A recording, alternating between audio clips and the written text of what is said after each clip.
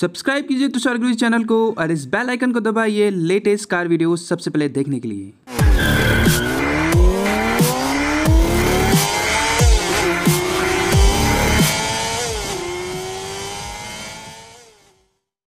नमस्कार दोस्तों, मैं हूँ तुषार और लेकर आया हूँ आपके लिए नया वीडियो।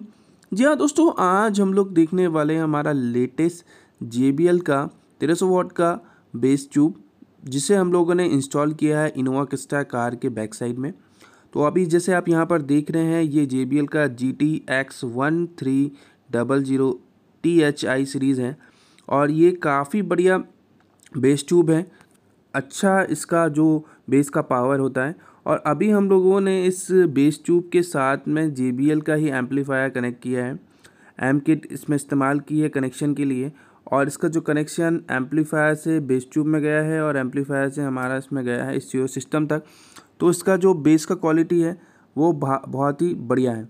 तो वीडियो का पूरा देखिएगा, इसकी जो बेस की क्वालिटी है, वो मैं आपको इस वीडियो में बताने वाला हूँ। अभी हम लोग बात करते हैं, ये हमारी इनोवा क्रिस्टा कार है, जिसके चार डोर्स में स्पीकर्स लगे हुए हैं और बैक साइड में हम लोगों ने ये JBL का बेस ट्यूब लगाया है। तो दोस्तों, सारे स्पीकर्स और इस बेस ट्यूब की जो क्वालिटी है, काफ़ी बढ़िया है और इसका जो साउंड है, वो भी बहुत शानदार है। तो वीडियो का पूरा देखिएगा और साउंड क्वालिटी सुनने से पहले आप हेडफोन ज़रूर लगाइएगा।